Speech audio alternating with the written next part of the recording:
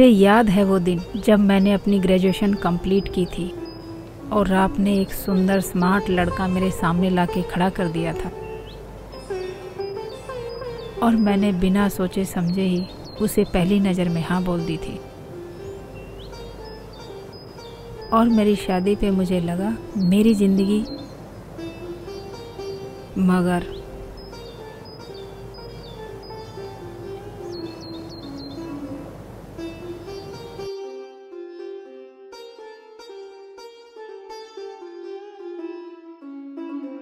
सांवली? अरे ओ सांवली कहाँ मर गई? आई माँ जी। अरे सुबह से एक कप चाय भी नहीं मिली ढंग की। एक कप चाय तो बना ला जल्दी से। मम्मी जी आधा घंटा पहले तो चाय दी थी आपको। ज़्यादा चाय आपको नुकसान करेगी। ज़्यादा ज़ुबान मत चला। तेरा बाप देखे नहीं जाता है। मैं मेरे बेटे की कमाई खा रही हूँ। और ये पल्लू कितनी बार बोला है तुझे? ढक के रखा कर तेरे माँ बाप ने यही सिखाया है तुझे? प्लीज़ मम्मी जी मेरे माँ बाप पे मत जाया कीजिए। तुझे शर्म नहीं आती? ज़्यादा ज़ुबान चलाती है। क्या हुआ माँ? क्या नहीं हुआ बेटा? अब तो तेरी बहू मेरे खाने पीने का भी हिसाब रखने लगी। हे भगवान! मेरे तो भाग ही फूट गए। कहाँ से ऐसी बहू पल्ले पड़ गई? हरामजादी मेरी माफ़ी हिसाब मांगती है।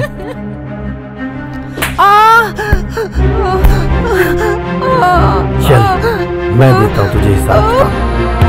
तेरी अकल तुम्हारे अधिक करता हूँ ये ले हिसाब ये ले हिसाब और ले, है?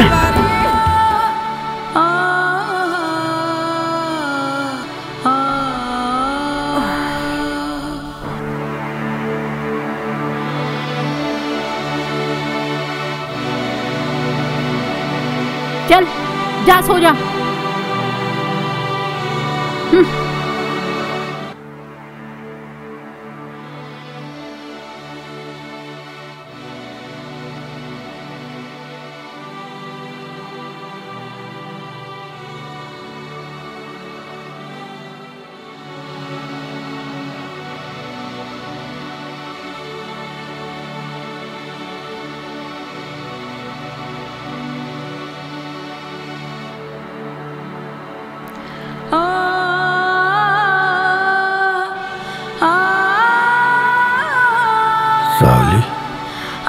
ए सावली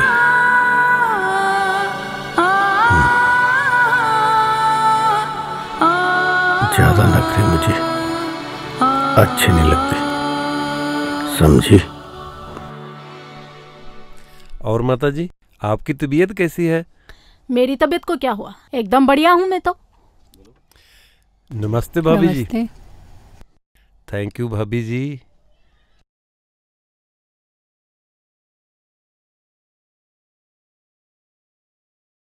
वाह चाय बहुत टेस्टी है। आपके हाथों में तो जादू है। थैंक यू भाई साहब।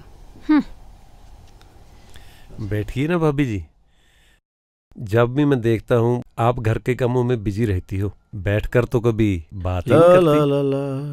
लो अशोक भी आ गया।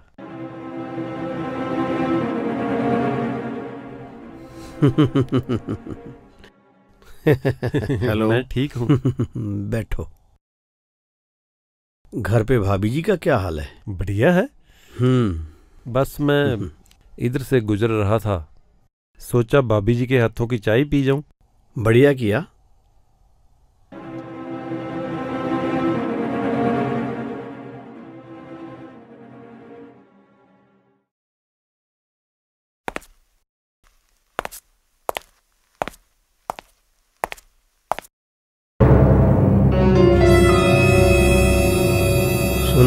हाथों से। आजकल बड़ी अच्छी चाय बनाने लग गई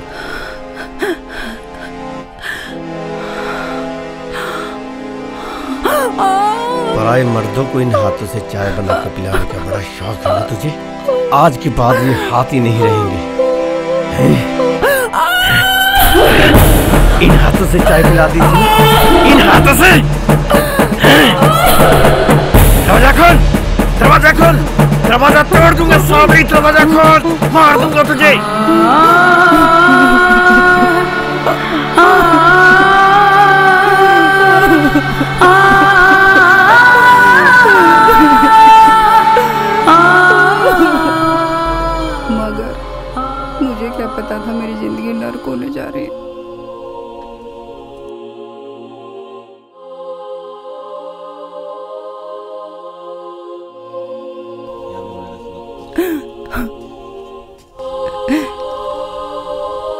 बेटा बहुत से घरों में ऐसी समस्याएँ आती रहती हैं। धीरे धीरे सब ठीक हो जाएगा। तू भी तो थोड़ा एडजस्ट करना सीख। मम्मी मैं इतने टाइम से एडजस्ट ही तो कर रही हूँ। अब मैं वहाँ नहीं रहना चाहती हूँ। बेटा तुम्हें एडजस्ट करने की कोई ज़रूरत नहीं। मैं आज ही उनसे बात करता हूँ। आप तो रहने ही दो जी। आप एक आर्मी मैन हो। आपकी बातें सिर्फ़ आर्मी वालों को समझ लगेंगी। सिविलियंस तो आपको गलत ही समझेंगे ना। बेटियाँ सिर्फ़ ससुराल में ही अच्छी लगती हैं, मायके में नहीं।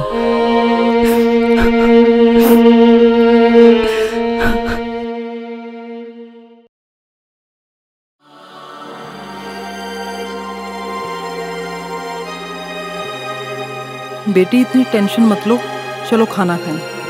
मेरा दिल तो ये सोच सोच कर परेशान हो रहा है। मेरी बेटी इतना कुछ सह रही थी। माँ बाप अपनी बेटी के लिए अच्छा घर और अच्छा लड़का तो देख सकते हैं, लेकिन उसकी किस्मत नहीं बदल सकते। उठ बेटा सांगली शाबाश।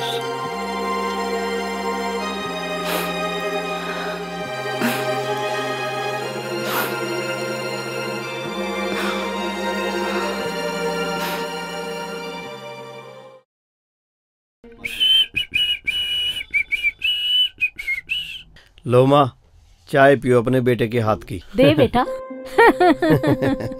लो।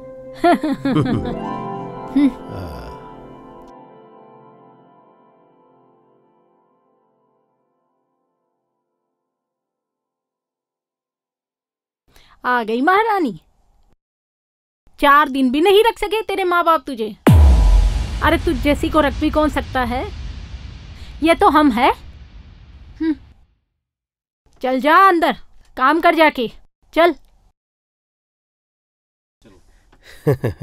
बेटा गनी नाना ने रखा नहीं तुझे?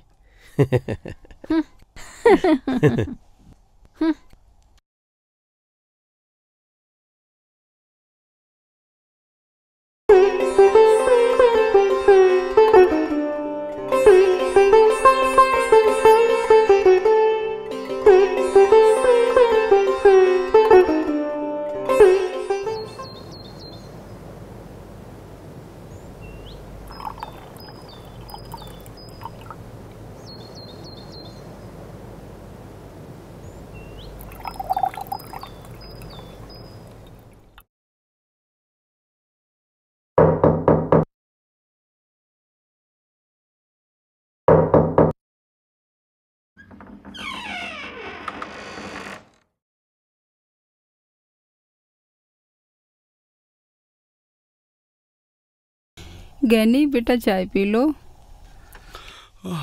मम्मी रख दो। तुम्हें कितनी बार कहा है मेरे रूम में ना करके आया करो। फिर भी मुँह उठा के चली आती हो। मम्मा दादी ने दरवाज़ा नॉक किया था लेकिन आपने सुना नहीं। तुम तो चुप ही रहो। अगर इन सब बातों की बजाय तुम अपनी स्टडीज़ पर ज़्यादा फोकस दो वो ज़्यादा अच्छा नहीं रहेगा? ओहो रीमा सुबह सुबह तुम अपना क्यों मूड खराब कर रही हो यार? मूड? तुम मूड की बात करते हो? मेरा तो पूरा दिन खराब हो गया। तुम्हारी ये माँ की मनुष्य शक्ल देखे। I can't believe this. This is too much. रिश्ते ऐसा तू निभाए। ज़िंदगी रिश्ते ऐसा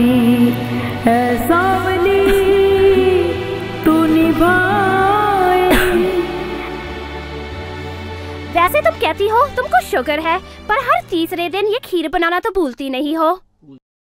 रीमा एक बात तो है। मेरी मम्मी खीर बहुत अच्छा बनाती है। टेस्ट तो करके देखो। रहने दो ये खीर तुम ही खाओ अपनी मम्मी के बनाई हुई खीर। आई एम गेटिंग लेट मुझको ऑफ़िस जाना है see you later okay bye Reema come on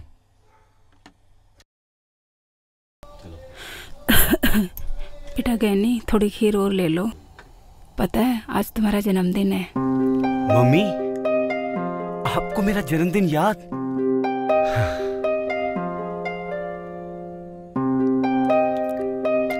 Thank you mummy. Thank you so much mom क्या बताऊँ मैं आपको? मैं तंग आ चुकी हूँ इस ओल्ड लेडी से। बेटी तुम टेंशन मत करो। शुगर की मरीज़ है ज़्यादा दिन नहीं रहेगी। देखना भगवान को जल्दी ही प्यारी हो जाएगी। ओ माम ये ओल्ड लेडी इतनी जल्दी मरने वाली नहीं है। अच्छा खाती पीती है। शुगर तो एक बहाना ही है। ठीक है बेटी इस बुढ़िया का कुछ और ही हल निकाल के तेरे को बताती हूँ। मुस्कुराए फिर भी तू मुस्कुराए फिर भी तू मुस्कुराए। ज़िंदगी रिश्ते ऐसा तू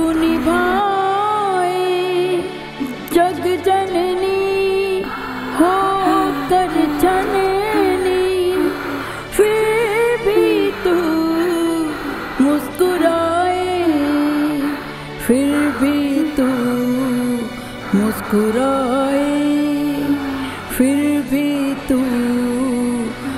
मुस्कुराए।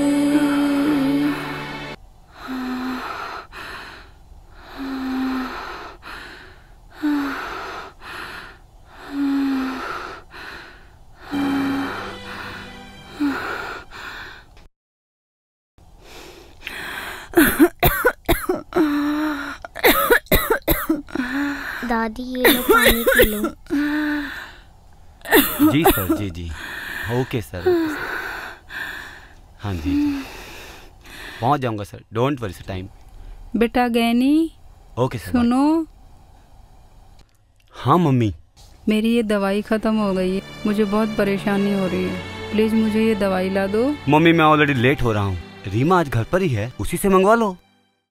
ठीक है मम्मी। बाय दादी माँ जब मैं बड़ा हो जाऊँगा तब मैं आपको दवाई ला के दूँगा। तुम्हें कितनी बार कहा है बच्चे से दूर रहा करो इसको भी इन्फेक्शन हो जाएगी। पारस तुम अभी अंदर जाओ। बेटी रीमा मेरी ये दवाई ख़त्म हो रही है मुझे बहुत परेशानी हो रही है। मेरी दवाई ला दो प्लीज़ थोड़े दिन पहले तो लेके दी थी। मेरे पास टाइम नहीं है इन फालतू चीज़ों के लिए। वैसे भी मैं अपनी किटी पार्टी के लिए लेट हो चुकी हूँ। सांवली रिश्ते निभाए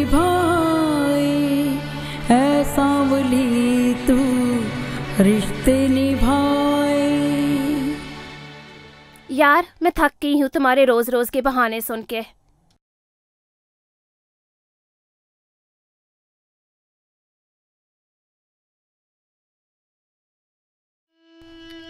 रीमा ट्राई टू अंडरस्टैंड वो मेरी माँ है। हमें उनके साथ ऐसा नहीं करना चाहिए।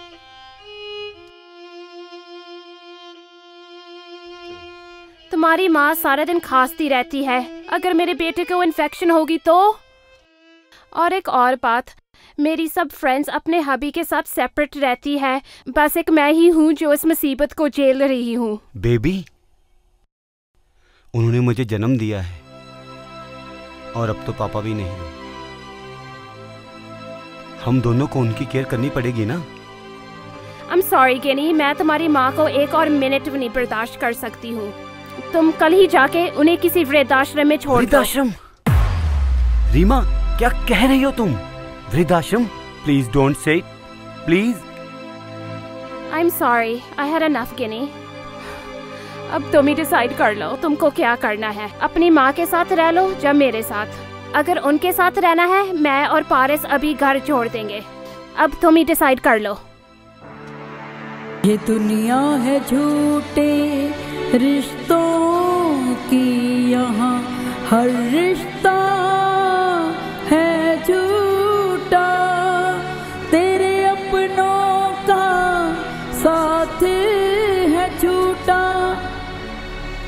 अब न रहा कोई तेरा सांवली अब न रहा कोई तेरा सांवली अब न रहा कोई तेरा साँवली अब न रहा कोई तेरा नाना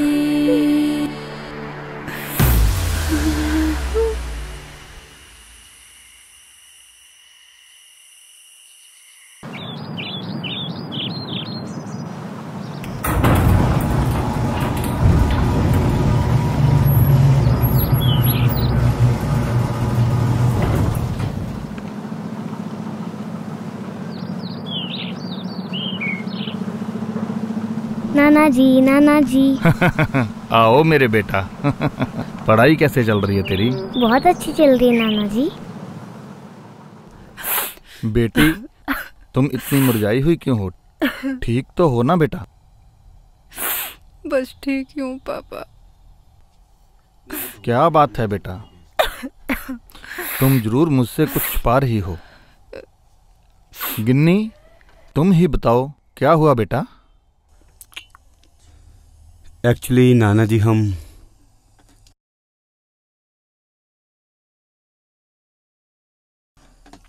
हम लोग थोड़ा बिज़ी रहते हैं। हम सोच रहे थे कि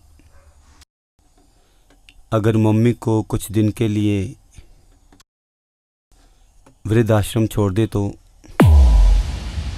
अपनी ज़ुबान को लगाम दो। मैं अभी ज़िंदा हूँ।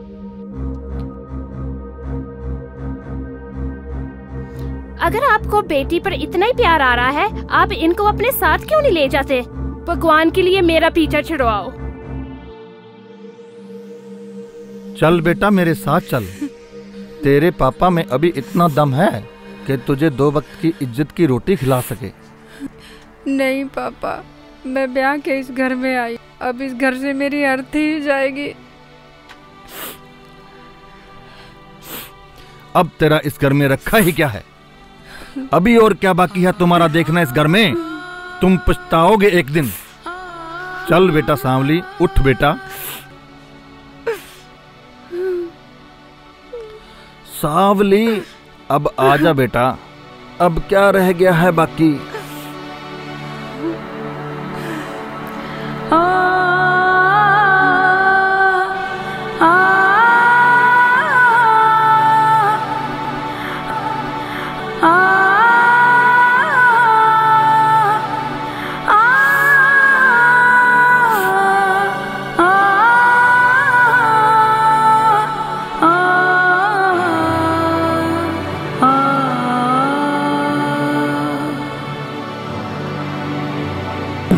जग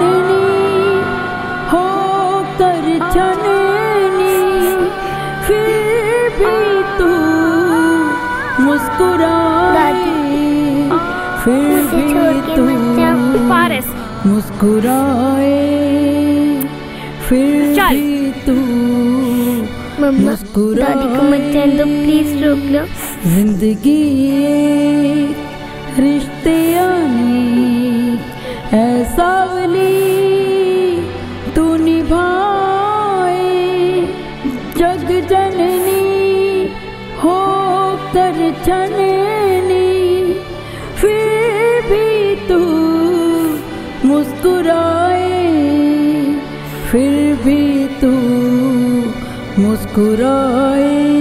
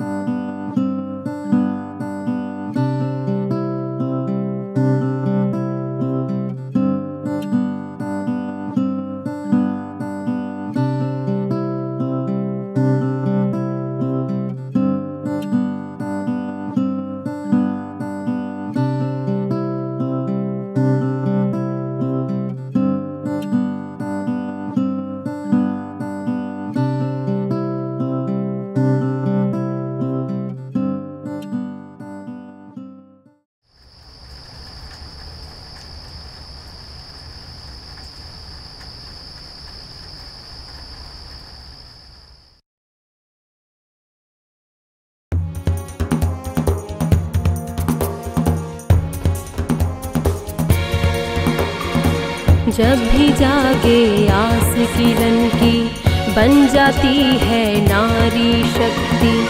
जब भी जागे आस किरण की, बन जाती है नारी शक्ति। रण में जूझे बन के दुर्गा आसमान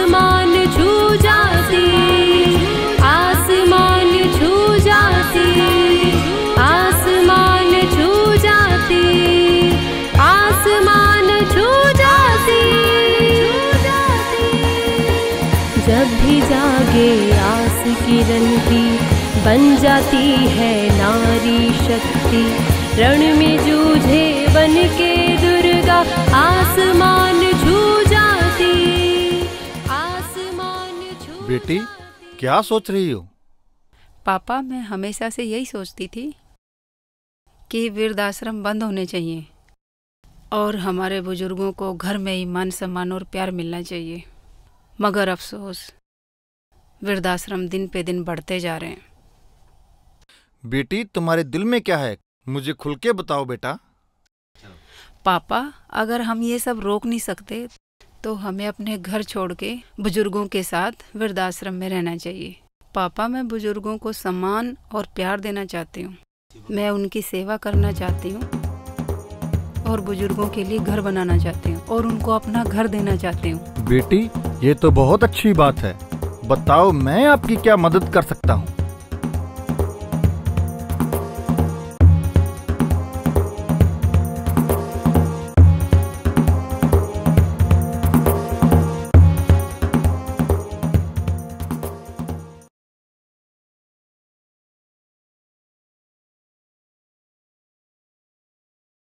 ये हमारे अपना घर के प्रेसिडेंट हैं और ये हमारी देखभाल के लिए हैं।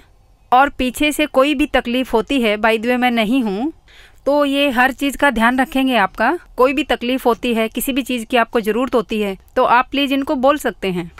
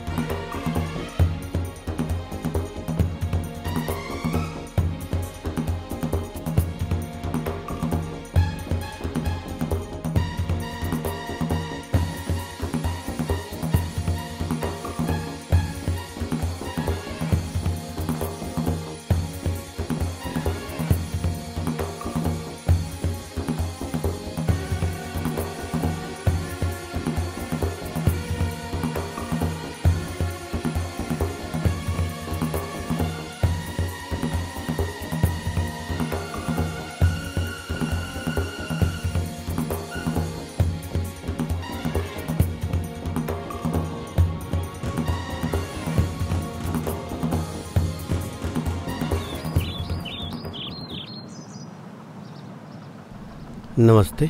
नमस्ते। हम लोग कॉलेज स्टूडेंट। नमस्ते। अच्छा हाँ मेरी आपसे फ़ोन पे बात जी, हुई जी, थी। नमस्ते।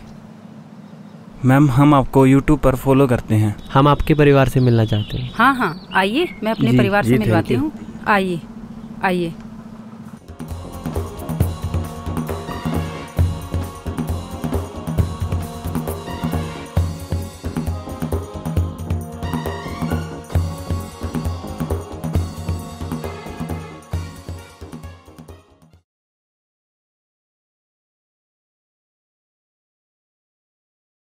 नानी? नानी? मामा ने तो बोला था आप हरिद्वार घूमने गए हो। पर क्या हुआ आपको? मुझे समझ नहीं आ रहा, आप यहाँ कैसे? बताओ नानी। आप रो क्यों रहे हो नानी? बताओ। क्या हुआ नानी, आप रो क्यों रहे हो? मुझे बताओ पहले।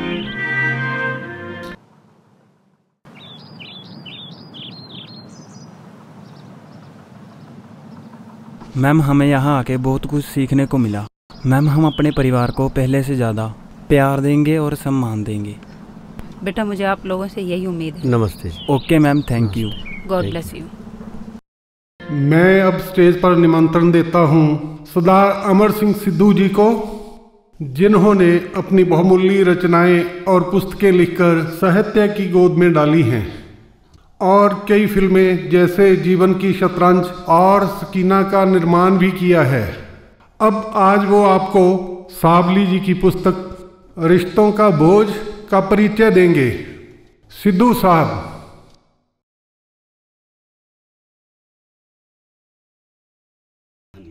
बहुत बहुत धन्यवाद, सच्चे महोदय।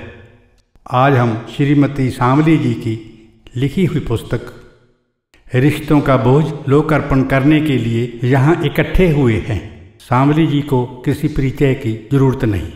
वे बहुत ही मेहनती अक्लमंद और अच्छे संस्कारों की धनी है। उन्होंने शादी के बाद अपनी मुश्किलों भरी ज़िंदगी को बहुत साहस के साथ जिया और अपने दृढ़ निश्चय के साथ हीरे की तरह त्राश कर चमकाया।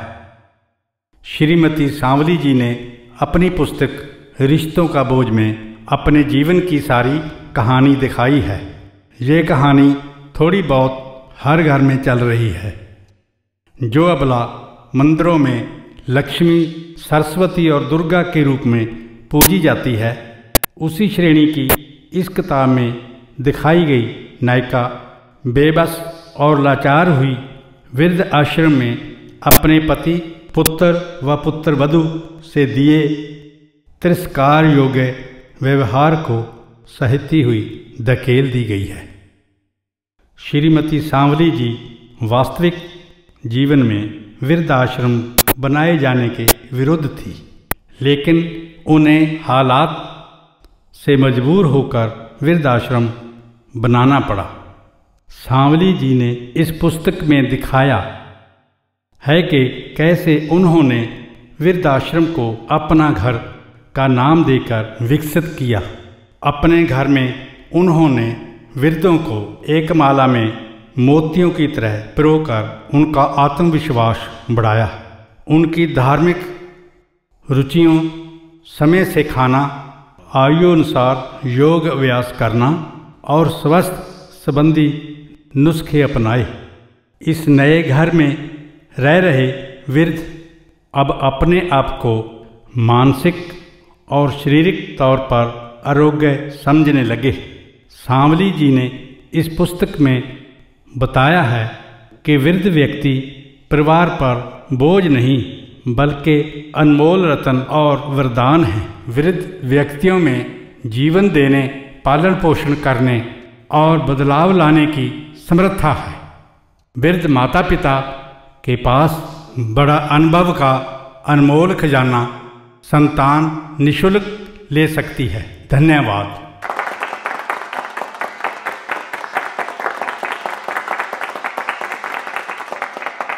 अब मैं सांवली जी को निवेदन करता हूँ कि वो यहाँ स्टेज पर आएँ और अपने बारे में दो शब्द कहें।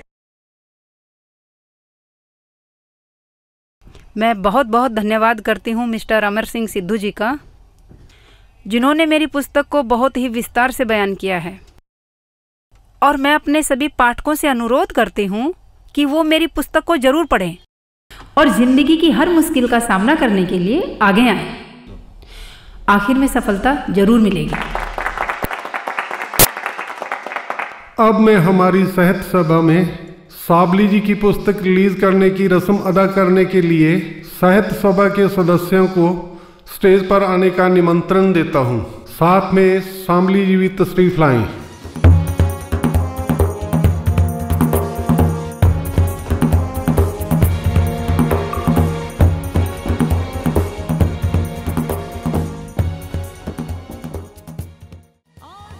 नमस्कार, मैं हूँ ज्योति आप सभी दर्शकों का हमारे इस प्रोग्राम में हार्दिक स्वागत है। आज हम आपको एक ऐसी हस्ती से मिलवाने जा रहे हैं जो ना तो कोई क्रिकेटर है ना तो कोई फिल्मी हस्ती और ना ही कोई नेता है। वो हैं प्रसिद्ध समाज सेविका मैडम सांवली जी। हाल ही में जिनकी एक किताब रिलीज़ हुई है रिश्तों का बोझ। मम्मी? मैडम सांवली जी आपका हमारे इस प्रोग्राम में हार्दिक स्वागत है। धन्यवाद। सांवली जी मेरा पहला प्रश्न आपसे ये है कि आपके दिमाग में वृद्ध आश्रम खोलने का आइडिया कैसे और क्यों आया? मैंने अपनी ज़िंदगी में हर रिश्ते को बखूबी निभाते हुए इंसानियत का फ़र्ज़ अदा करने का फैसला लिया। हमने सुना है आप अपने घर की बजाय अपना घर जो कि एक वृद्ध आश्रम है आप ही का बनाया हुआ है। वहाँ रहते हैं आखिर ऐसा क्यों? हमारा वो परिवार जिसके लिए हम अपनी पूरी ज़िंदगी निछावर कर देते हैं और वही परिवार जब रिश्तों को बोझ समझने लगे तो ज़िंदगी में कभी कभी ऐसे फैसले लेने पड़ते हैं। मैडम सांवली जी मेरा आपसे आखिरी सवाल ये है कि आप हमारे दर्शकों को क्या मैसेज देना चाहेंगी? मैं अपने दर्शकों को यही मैसेज देना चाहती हूँ कि ये कोई खुशी की बात नहीं है। हमारे लिए बहुत शर्म की बात है। हमारे देश में दिन प्रतिदिन वृद्धाश्रम बढ़ते जा रहे हैं और हमें अपने बुज़ुर्गों को घर में ही इज़्ज़त देनी चाहिए। मैं अपने बुज़ुर्गों को यही मैसेज देना चाहती हूँ कि अगर उनकी ज़िंदगी में कभी कोई बुरा दौर आ भी जाता है तो वो अपने आप को किसी से कम ना समझें और अपनी सेल्फ रिस्पेक्ट को कभी कम ना होने दें। जो इंसान सारी ज़िंदगी अपने परिवार के लिए नछावर हो सकता है, वो वक्त आने पे अपने लिए भी बहुत कुछ कर सकता है। धन्यवाद सांवली जी। मैं भी आपसे एक बहुत अच्छी सीख लेके जा रही हूँ और हम चाहते हैं कि आपका ये मैसेज लोगों की ज़िंदगी में नया मोड़ लेके आए। थैंक यू मम्मा, पापा, जब आप बूढ़े हो जाओगे, तब मैं आपको ओल्ड एज होम छोड़ के आऊँगा।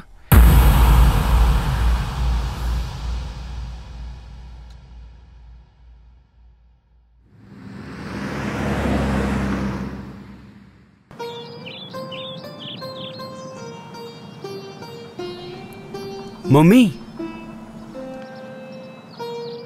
दादी।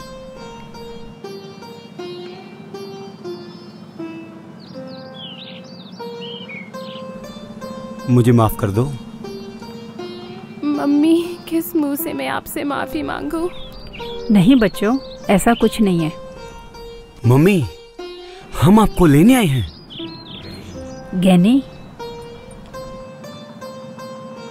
अब यही मेरा घर है। मैं यही खुश हूँ। मम्मी हमें पता है। आप हमसे नाराज़ हैं।